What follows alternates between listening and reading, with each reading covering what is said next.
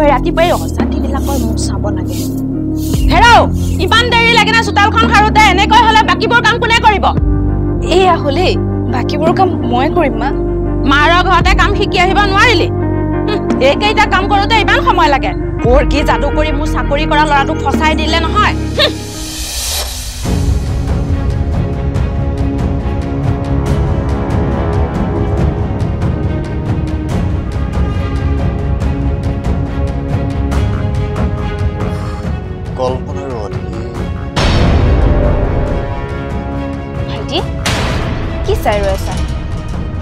কি কল্পনাৰ অধীৰ ন ন- নহয় মানে মই বেলেগ এটা কথাহে ভাবি আছিলোঁ। অঁ আহা লুচি ভাজি থাকি থোৱা আছে খাই লোৱা। ঠিক আছে বৌ।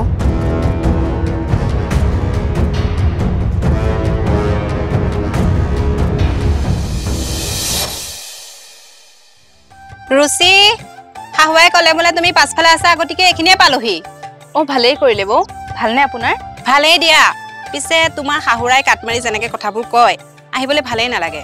হে সেইবোৰ বাদ দিয়ক বৌ। মা আচলতে একা চেকাহে ভিতৰি কিন্তু বেয়া নহয়। এই শাহুৰে কথা থোৱা পিছে এইবোৰ কি লগাবলৈ লৈছা?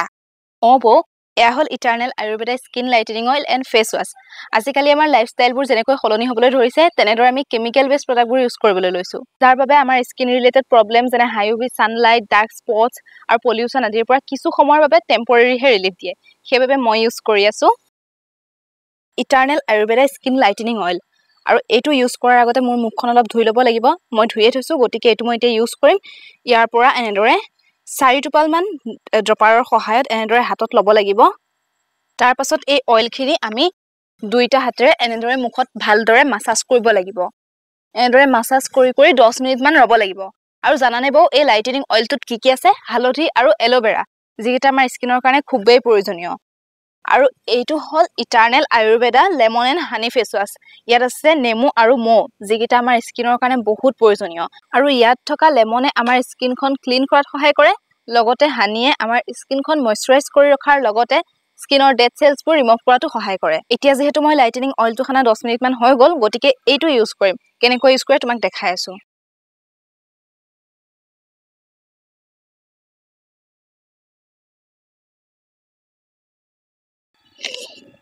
এতিয়া দেখিছেনে বৌ? মোৰ মুখখন কিমান ফ্ৰেছ ফ্ৰেছ লাগিছে আৰু কেনেদৰে গ্ল' আহিছে?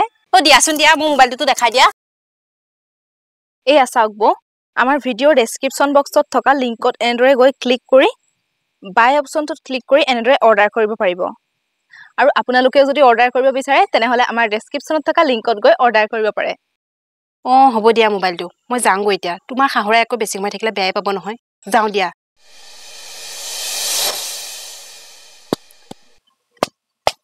চে বাবা ছুটি কেতিয়াবা কাটিব। কাম কৰা মানুহ এটা পোৱা হোৱা ভাল হ'ল হয়।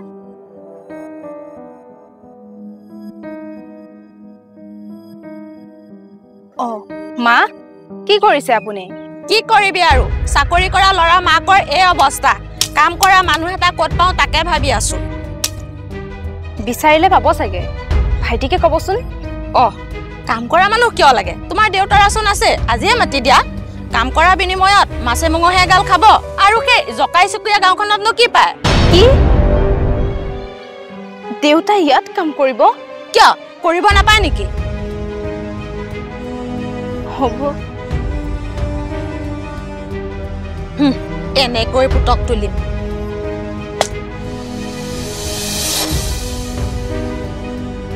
কি হ'ব? ইমান মৰম লগা চকুযোৰত চকু পানী যে।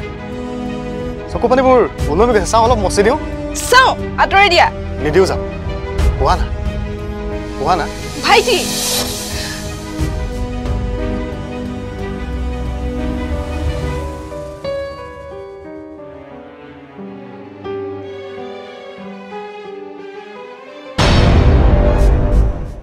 চালা? বৰ জকাই চুকৰ পৰা আহিল। মৰম অকণ কৰিব বিচাৰিছিলো।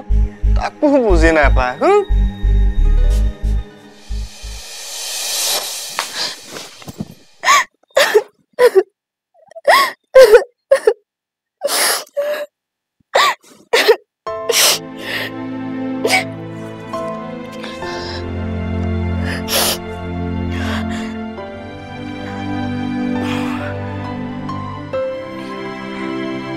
হুম ধন খুৰা।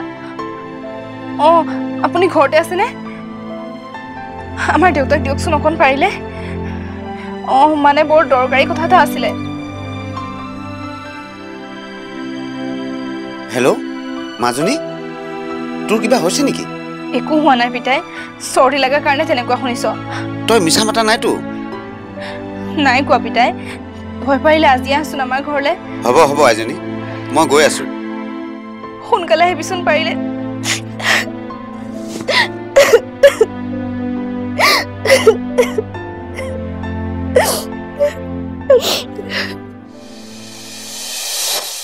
তাকে কৰ কি বেঙী এজনী আনিলে?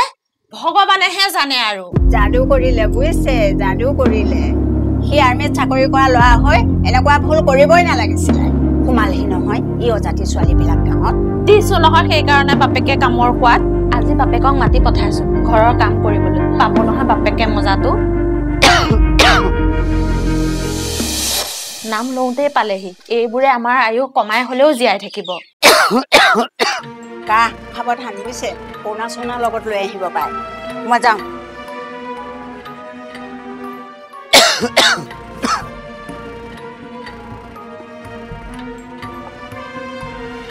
মা বজাৰৰ পৰা চাউল আনিব লাগিছিল ঘৰত একেবাৰেই নাই। অঁ পিতাই তই পালিহি। চাওঁ চাওঁ পিতাই বেগটো দে। অলপ দেৰি হ'ল নেকি বিয়য় বেমাৰী মানুহ বিয়নী ৰৈ ৰৈ আহোঁতে দেৰি হ'ল। হ'ব দে বেগটো দে। মই ভাত বাঢ়োগৈ তই হাত মুখ কেইটা ধুই লহি। ভাত মানে বোৱাৰী ঘৰত দেখোন চাউল নাই। পুৱাৰ ভাত আছিল মা অ সেয়া সাহস দিব লাগিব নহয়। তুমি এটা কাম কৰা। ভাইটিৰ লগত দেউতাক পঠিয়াই দিয়া চাউল আনিবলৈ। সেয়াকে সিজাই দিবা। নে কি কয় বিয়য় কিন্তু হ'ব দে মাজনী এনেও বুঢ়া মানুহৰ পেট। ভোক নলগাই হ'লো। মইনা! বিয়ৰ লগত চাউল আনকে যা। কিন্তু চাইকেল? চাইকেল কিয় লাগে? বিয়ৰ পিঠিত আনিবা নহয়।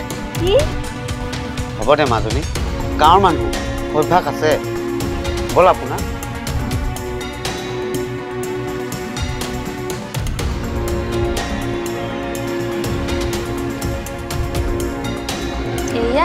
আৰম্ভণিহে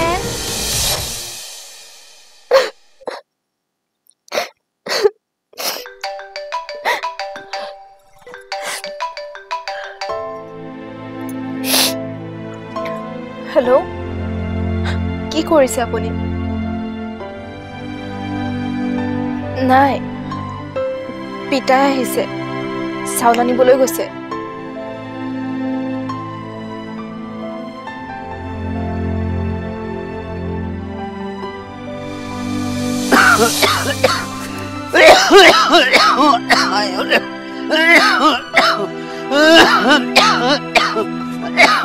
আই ঐ অ আই আই। ৰ'বচোন ৰ'ব। পিতাই পালেহি নেকি?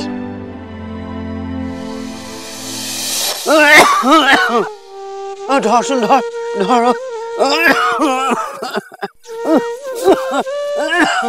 আই ঐ বহুত দিন বস্তা ডাঙা নাই যে। আই কঁকালৰ বিষটো একেবাৰে হেঁচা মাৰি ধৰিছে।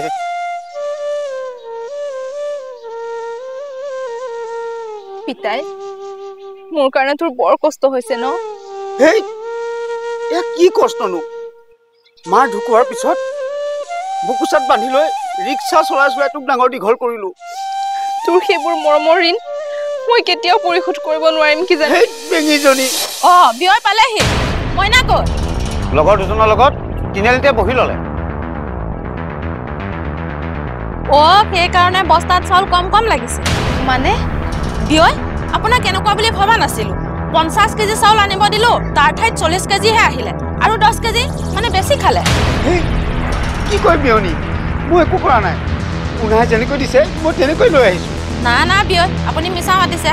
দহ কেজি চাউলৰ মূল্য তিনিশ টকা। গতিকে মোক তিনিশ টকাটো দিয়ক দিয়ক। মা পিতাই এইবোৰ কাম নাই কৰা। আৰু ক'ৰ পৰা পইচা দিব? মই ক'ৰ পৰা জানো? পইচা দিব নোৱাৰে যদি আজি কামৰ হাজিৰাত কাটা যাব। কিন্তু বিয়নী। না না বিয়য় একদম মোক বেয়া নাপাব। যেনে কৰ্ম তেনে ফল। আইজনী তই ভিতৰলৈ যা। বৰকে ভোক লাগিছে অ' পাৰ যদি। পানী গিলাচ দি বিস্কুট এখন দে। মই বেৰাখন বনামগৈ।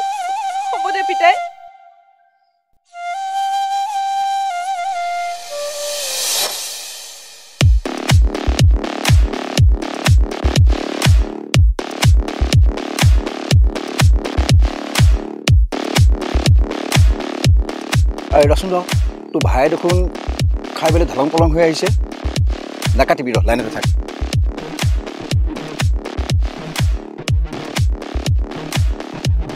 এই ৰচোন ৰ ভাইটি ৰ এই দিনটো পুৱাতে একবাৰ কি খালি? মদ খালো মদ। তাৰে কি হ'ল? দাদাই শুনিলে মনত বহুত আঘাত পাব। হা? কোনে গম পাব? দাদা? এটা চাকৰ। কি? তেনেকে ক'বলৈ বেয়া লগা নাই? কিয় বেয়া লাগিব? হা? সি চাকৰ তাৰ ঘৈণীয়েক চাকৰ। আজি আকৌ চাকৰ কৰিব আহিছে তাৰ শহুৰ বুঢ়া। হ'ব হ'ব ঘৰত যোৱা।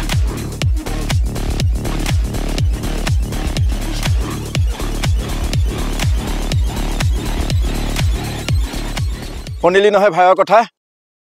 আৰু মই নকলেও হ'ব চাগে বাকীখিনি।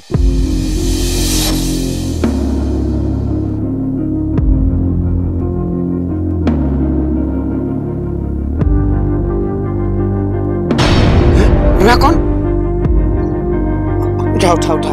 উঠা দিন দুপৰতে কি খালা? তোক কিয় লাগে বুঢ়া? মই যি খাওঁ মোৰ কথা।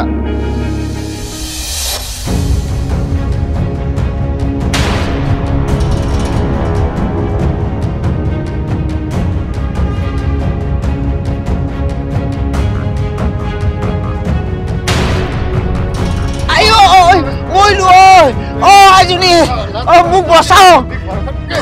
অ মোক আজি মাৰি শেষ কৰিলো। অ আইজনী অ, মোক বচাও আইজনী। বোৱাৰী? অ বোৱাৰী। এইটো আমাৰ মইনাৰ মাত নহয়নে কিবা লাগিছে নেকি? চোৱাচোন। পিতাইও চিঞৰিছে দেখিছোঁ যোৱাচোন যোৱা পিতাই পিতাই।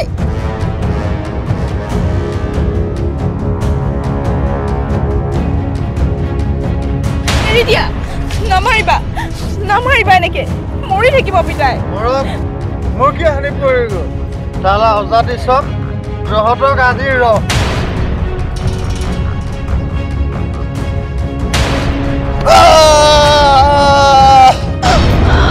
মইনা!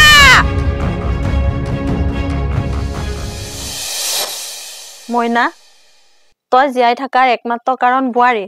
বোৱাৰীয়ে তেজ নিদিয়া হয় তই জীয়াই থাকিব নোৱাৰিলিহেঁতেন। বৌ মোক তুমি ক্ষমা কৰি দিয়া। মোক ক্ষমা কৰি দিয়া বৌ। সজাতি সজাতি বুলি কৈ তোমাক মই বহুত কষ্ট দিলো বহুত অন্যায় কৰিলো। পাৰিলে তুমি মোকো ক্ষমা কৰি দিবা বোৱাৰী। ক্ষমা কৰি দিবা বোৱাৰী। নহয় মা। মোক আপুনি ক্ষমা খুজি পাপৰ ভাগি নবনাব। আপোনাৰ হাত আশীৰ্বাদৰ বাবে উঠাওক। ক্ষমা খোজাৰ বাবে নহয় মা।